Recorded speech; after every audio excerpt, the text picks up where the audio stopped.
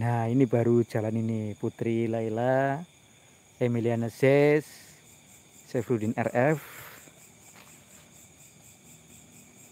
Wati Budisyur Arif Kurniawan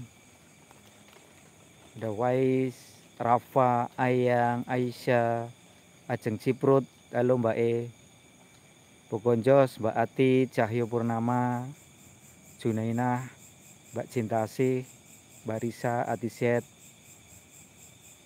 Betawi Musik Mbak uh, Mas Nana Mbak Rini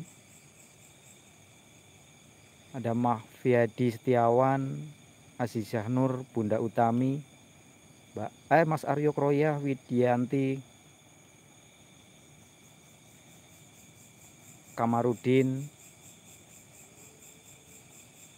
Eni Egi Maulana Bunda Saskia Aak Isyalah Bang Tarno Mbok Kiem Sutar Beben Niafani selamat malam D Dilan B Dilan ya.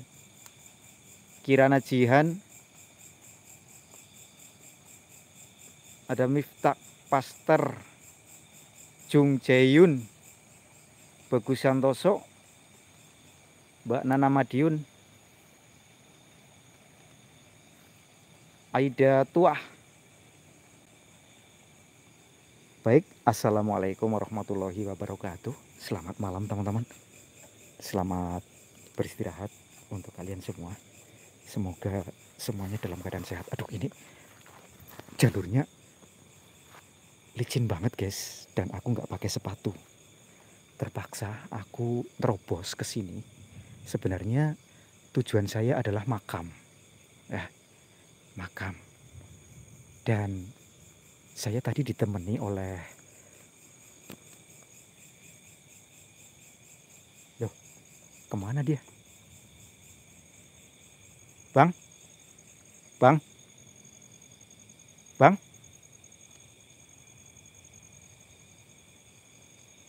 Bang? Oh itu dia itu. Wah. Hah? Oh nggak ikut. Katanya mau mantau di sana saja.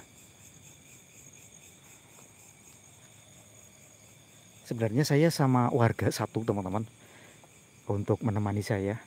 Ini jalan terobosan ke makam. Sebelah sana ada makam di bawah pohon bambu, ya di, di bawah rumpun bambu ada pemakaman dan kenapa saya ke sini? Saya ingin melihat makam orang yang beberapa hari lalu meninggal dunia dengan tragis. Ini seorang ibu rumah tangga baru punya anak satu. Uh, dia meninggal dunia tergilas kereta api. Ya, jadi sangat mengerikan katanya.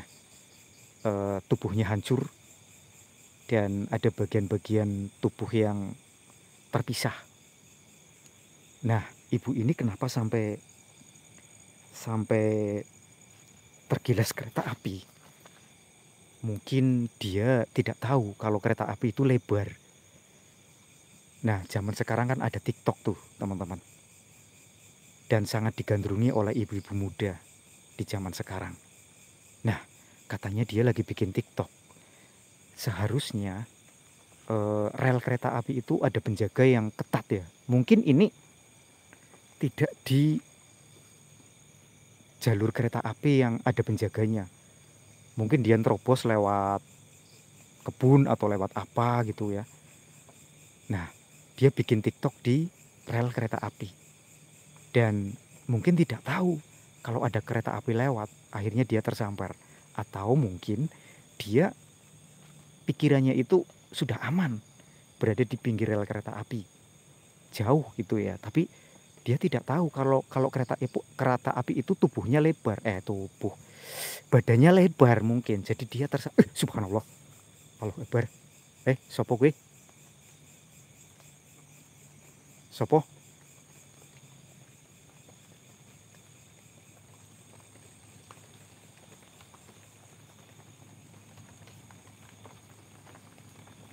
Jadi dia tersambar kereta api. Aku mau cerita aja, ngeri teman-teman. Ada bagian-bagian yang terputus dan dia tadi ikut saya sih, Bang. Oh itu, dia masih di sana. Gemeter aku, guys. aku nggak berani sendiri soalnya ke sana. Tapi sih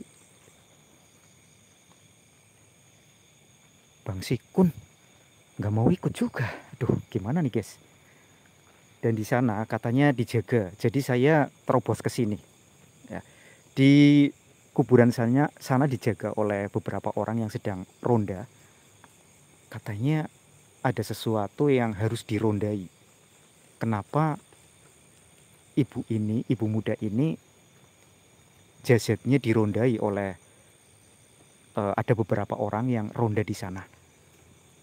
Tadi penjelasannya kurang kurang paham aku teman-teman.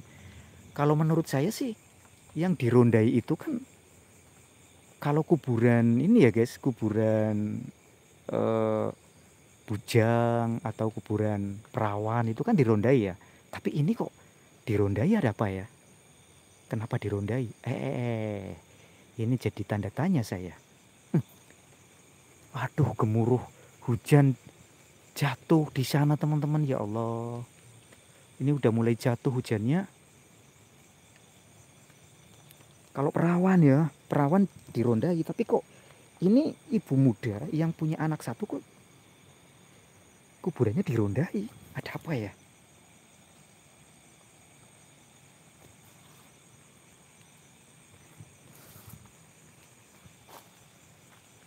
Kalau menurut Bang Sikun sih tadi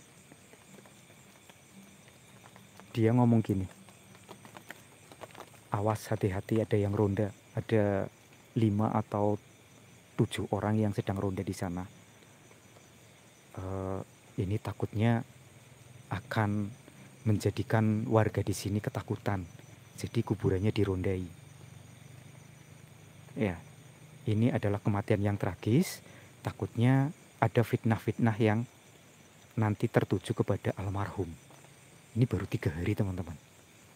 Baru tiga hari penguburan. Nah, aku sangat tertarik untuk menengok kuburannya karena ada beberapa orang yang ronda di sana.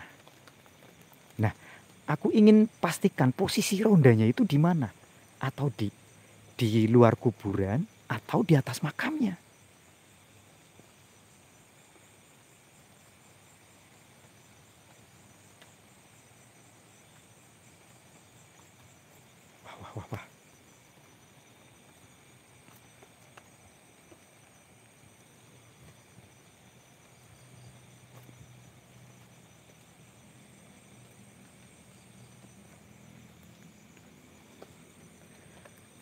Tapi kok hujan ya guys? Aduh, lanjut nggak nih? Subhanallah. Tuh, gelugur. Dalam makan mungkin ya. Ini masih sekitar 200 meter lagi makamnya. Aku terobos dari arah samping ini teman-teman. Tidak tidak dari arah depan tidak tapi aku dari arah samping dari arah kebun Aduh, aku kok ngeri ya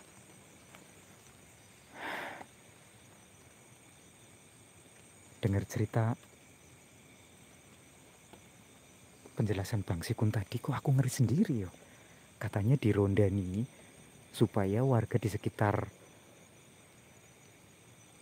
lokasi pemukiman dari si ibu muda ini dan lokasi sekitar kuburan itu tidak panik agar tidak menjadi fitnah. Mungkin takutnya nanti diberitakan menjadi hantu ya guys. Ih, ngeri guys. Astagfirullahaladzim. Ini hujannya guys. Nih hujannya nih. Nih, mulai turun. Ragunya ini hujan. Subhanallah.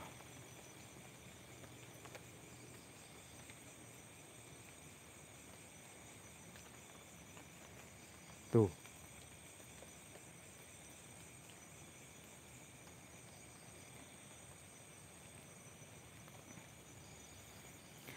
Sengaja aku pakai senter yang tidak terlalu lebar cahayanya supaya nanti tidak terdeteksi oleh orang-orang yang sedang ronda. Ini tujuan saya sih. Sebenarnya di ini ya dimatiin gitu, di uh, gelap. Tapi teman-teman nanti lihat apa ya guys? Gak lihat apa-apa.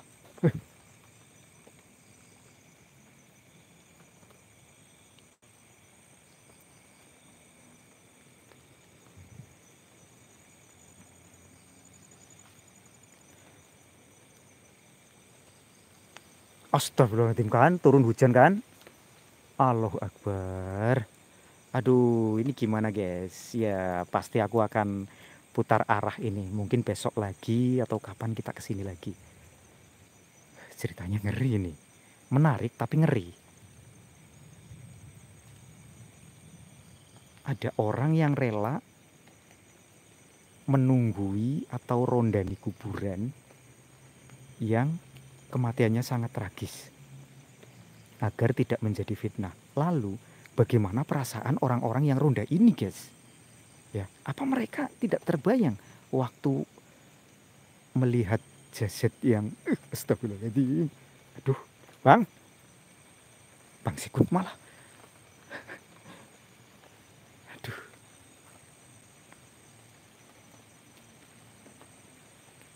Astagfirullahaladzim angin tiba-tiba gede guys aduh hujannya sudah dekat lagi tuh gemuruh banget oh gagal gagal gagal gagal waduh gagal total gagal total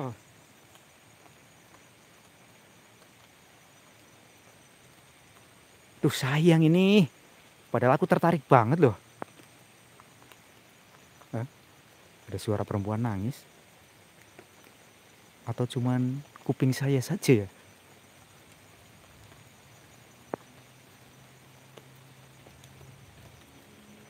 Wih, semakin deras ini.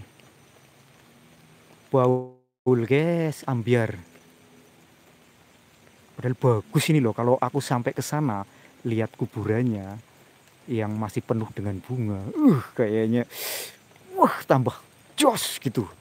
Ya, apalagi diterobos dari samping kuburan dengan jalan yang ini ya udahlah, aku tak putar balik aja, Bang. Bang Sikun. Bang. Ke mana ini orang?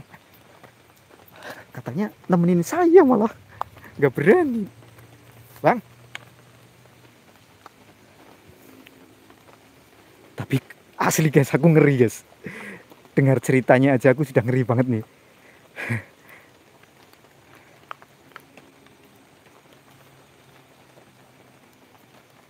Oke lah teman-teman ini karena hujan ya mungkin kita lanjut besok lagi lah.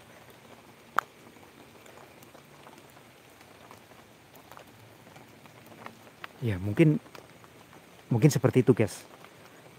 Oke nanti aku akan berbincang dengan warga sekitar sini. Kenapa ini dirondani gitu ya? Kalau menurut saya bujang atau perawan yang dirondani, tapi ini ibu muda sudah punya anak satu, ada ronda di sana. Oke lah, oke guys ini hujannya semakin dekat dan semakin deras. Thank you banget. Wassalamualaikum warahmatullahi wabarakatuh.